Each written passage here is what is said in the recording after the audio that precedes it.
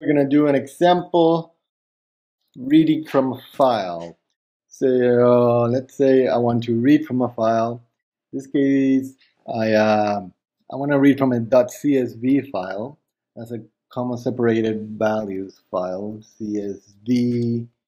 Uh, you'll see this CSV or uh, comma separated values file and uh, looks something like uh, this. I'm going to show you. So this is a little file I downloaded from finance.google.com. I'm going to drop that in there. Okay. It says data.csv. I can, uh, you see it's got the Excel there. So if I double click, it'll open it with Excel. I don't really need that. I'm just going to go open, uh, open with uh, the text editor. And there it is. So that's the file. Uh, that's a comma separated value. So you see got date open high and the date is the first column, then a comma, then the open price of the stock. This is Google stock, uh, actually. And uh, comma, the high price, low, and the closing price of Google stock was $645.90 on the 30th of December 11. So let's say I want to read from this file all the closing prices. There's a bunch of them, 253 all the way to January, and calculate the average. So I want to calculate the average closing price for Google stock for 2011. Um, how do I do that? Well, first I need to start with the file name. So string file name is and it's data.csv uh, right, it's data.csv. I'm going to use that. Uh, now I'm going to need to read from the file. Well, the way we read from the file is exactly the same way we read from the keyboard, with, that is with a scanner. So this is also the, an input stream. And so I'm to say scanner input stream is a new scanner. Now here comes the first thing. If, uh, if I put the just file name like that, like we were doing before, and that is not going to work, actually. Uh, let me go over here. Uh, well, first I got to fix this. Uh, command 1 tells me I forgot my import, so I'm to put that in there. Okay, now we can go here to my scanner. And uh, if you read the documentation right here, it says this constructs a new scanner that produces values scanned from the specified string. So if I did this, what it actually does, it is going to read from this string. So literally it's going to read data.csv. It's not going to read from the contents of that file. What I need is an actual file. File, file. There is a file class in Java, capital F, file. And uh, we use it like such, as you might imagine. File name and of course, we gotta do the import that. And now this, this is gonna create a new file, right? So that's how I do that. And then I can use this as a parameter here. Uh, now that's getting closer to working. Uh, of course, I still need to now surround this with a try catch block because it could be that the file doesn't exist. Okay, so uh, before I go on, a couple of things. This this file um, class has all these methods that are very useful.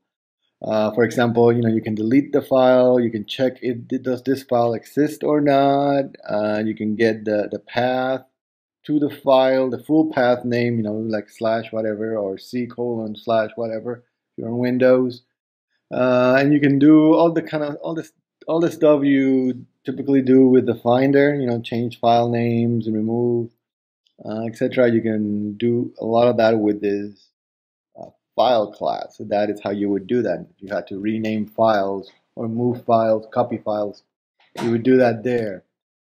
Uh, so do, you know, that is uh, something to do. To, you know, you should read about file.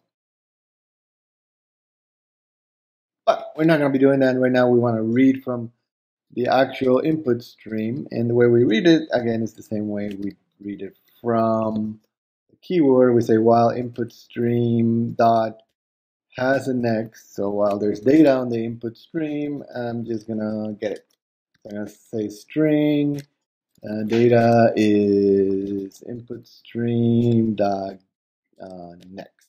Right? So next returns to me the next thing, and then to check it out, we're gonna print it out, print out the data. And at the end, of course, remember it's always good to close it. So I want to close my input stream. So let's run that, see what happens. And you see it did work. So I printed out the first line, and um, now it's not clear, you know, what next is giving me. So let me change this. Um, I'm gonna add that there. So you know, put three stars there and run it, and that makes it clear that each time through the next loop. So each time I do next, data is this whole thing, right? So basically, data is a whole line. And so, because I print the whole line and then I print the three stars. So, okay, uh, getting closer, but uh, you know that's kind of a problem, right? Because what I want is the closing price, which is you know this one, 645.90, 642.40, etc.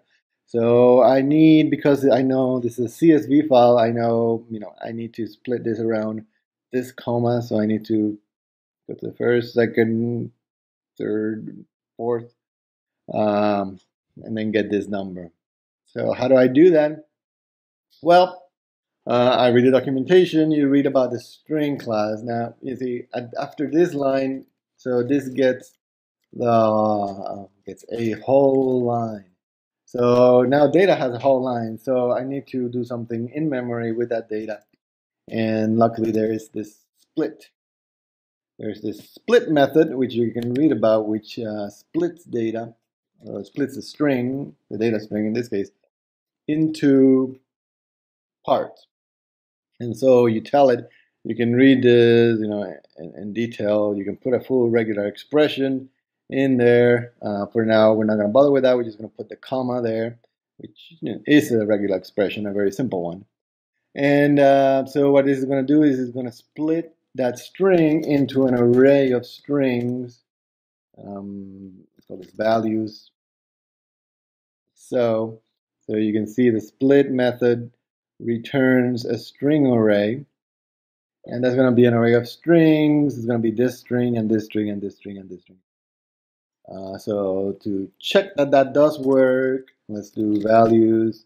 And then what we want is the close. So the close is going to be 0, 1, 2, 3, 4. Close is going to be number 4, I think. Let's run that, see what happens. There, I think we got it. Yeah, there's the close, 645.90, etc. So you see this star, I'm just printing that out. It's not part of the values, remember? So I can get rid of that, run it again, and boom, just the prices. Awesome. Uh, one problem is, you know, we got close, and the first line, that, you know, that's the first line, that's, uh, I don't like that. Uh, I don't need that, so I'm just going to get rid of the first line I just copying this part here and, uh, you know, ignore the first line. So I'm just to do that, get the first line first, and now my loop doesn't have the first line in there. Okay, awesome. Now I need to calculate the average of these numbers. One problem is that these numbers are not numbers. Their value is 4, which is a array of strings. So values 4 is actually a string. So I need to turn that string into a number, into, in this case, a double, because I got a period there. Um, so I'm to call this closing price, and I'm to need some parsing. So parse double values 4, and there we go. So we're to use the double parse double, which takes a string and parses that into a double. I'm to put that into my closing price. I'm to print the closing price. Run that again, and uh, good. So it seems to be working. Um, there we go. And uh, what's next? Average. So now I need to calculate the average. Well, the average, I just need to add them all up and divide them by the total number. So I'm gonna set up a sum is zero and the number of prices is zero. And once I get the closing price I can say the sum is the sum plus the current closing price. Oops. closing price and I just need to increment the number of prices by one. And then after I say after I close I'm gonna print average is is gonna be the sum divided by the number of prices right? That's the average. And let's run that again. It prints all the numbers and it prints out the average 568 so that's pretty much it. You know when you're reading from a file you're just using a scanner as you're doing it. Uh, the, there's not much to it. The, the, trickiest thing is that you're always reading strings um, and you're having to parse them. Now, there, there is one workaround when you don't have a CSV file. Uh, you can do something like if you say you just had a bunch of doubles, then you can do, you know, next double uh, or next float uh, if you had, say, doubles and floats separated by either spaces um, or the new line characters. So there are various many ways of doing this. Um, but mostly when you're reading from files, that's the hardest thing is most of your time is spent uh, typecasting and parsing the various data types into doubles or integers or whatever you need.